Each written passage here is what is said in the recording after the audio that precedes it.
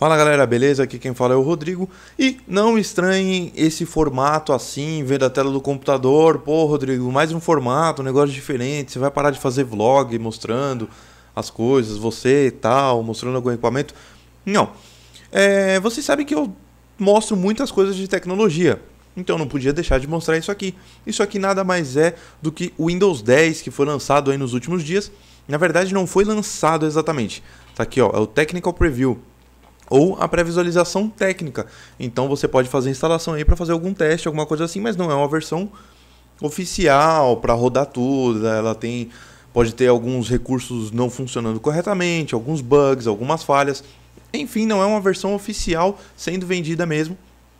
Então, o pessoal pulou aí o 9, lançaram o 10 e tá aqui, eu acabei de instalar a build 9841 e eu vou mostrar para vocês, e até eu mesmo ver um pouco, eu vi pouquíssima coisa antes de começar a gravar o vídeo, um pouco sobre o sistema. A gente vê aqui que tem o menu iniciar, depois de, ó, oh, eu quero o menu iniciar, quero o menu iniciar, quero o menu iniciar. Temos o menu iniciar meio clássico.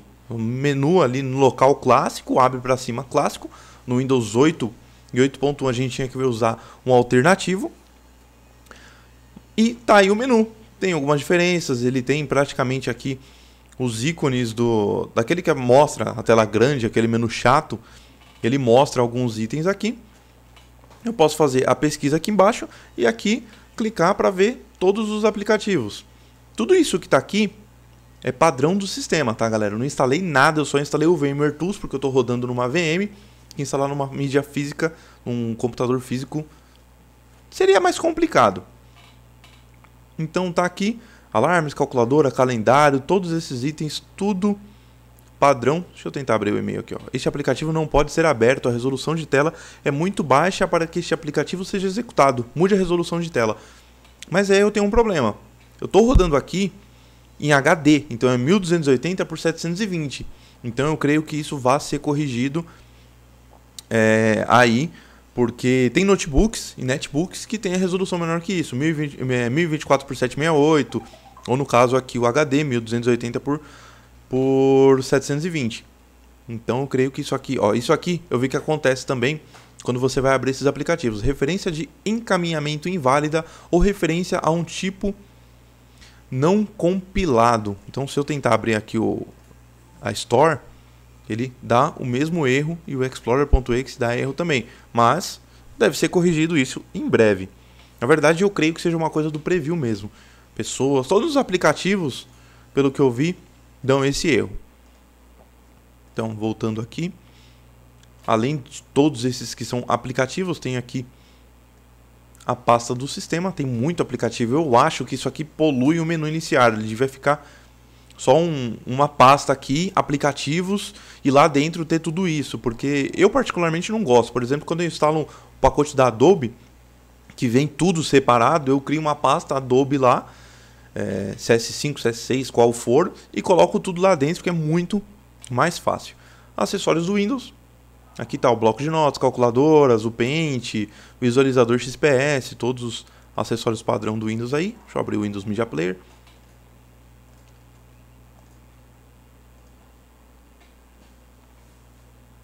Vamos ver como é a interface. Não mudou muita coisa.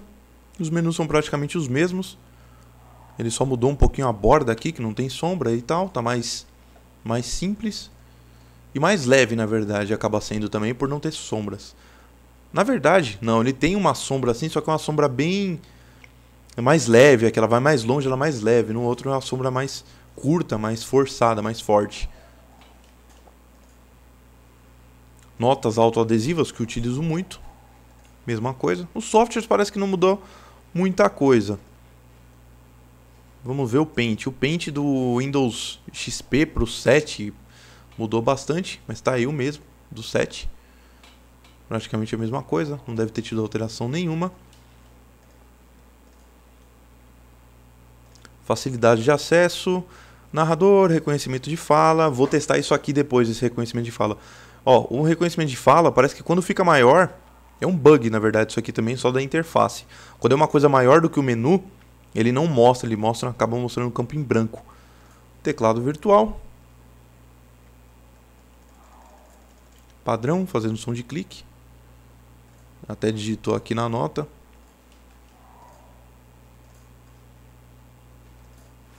Maintenance, a manutenção vazio.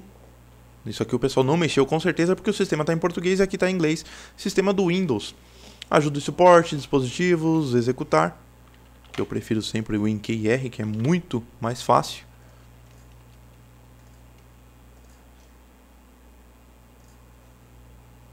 Programas padrão. Aqui não tem nada.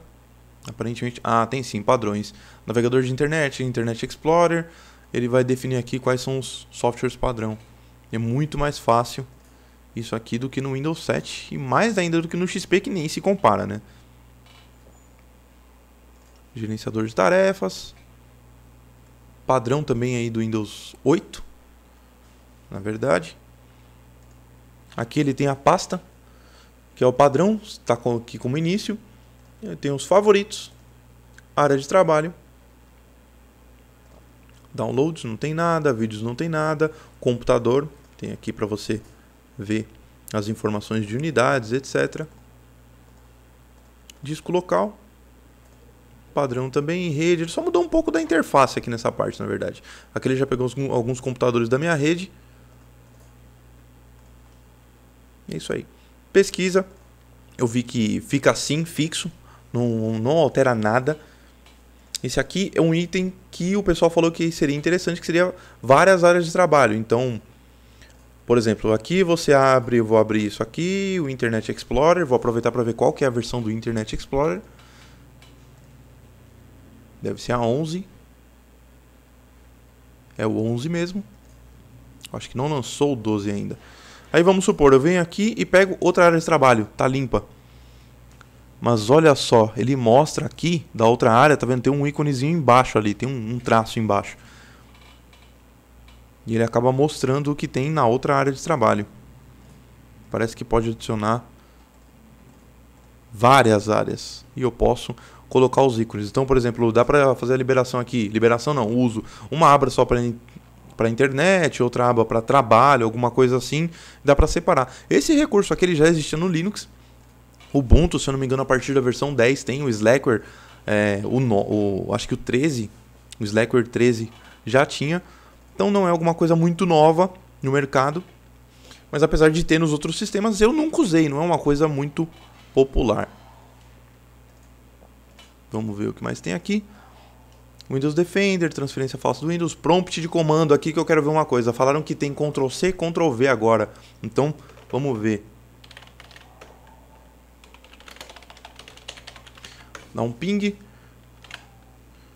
Vou selecionar aqui. Ping menos T, Ctrl C, Ctrl V. Agora eu vou digitar pingterra.com.br Ctrl C para cancelar, Ctrl C de novo, Ctrl V aqui, ele aceitou. Beleza. Vou fazer o seguinte.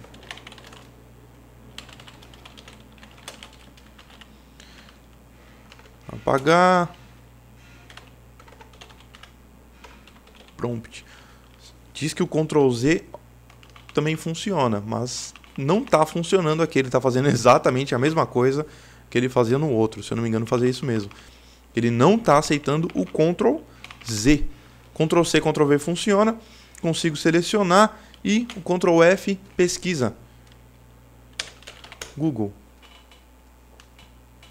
Pesquisa acima. Não está funcionando também. Isso eu creio que seja só mais alguma questão do preview aí. E que o Ctrl Z e a pesquisa, que é o Ctrl F, vão funcionar um dia.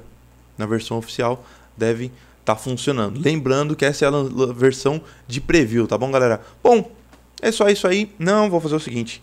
MSTSC, ver o acesso remoto. Mesma interface, ele tem uma sombra grande aqui. Aqui eu percebi que tem uma sombra, mas com certeza vai dar para desabilitar.